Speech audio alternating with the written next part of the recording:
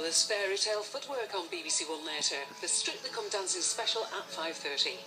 Now, if there's someone who's having a cheeky Christmas Day snooze, give them a nudge for a magical treat. From the same stable as the Gruffalo, the story of a little dragon and a princess, Zog.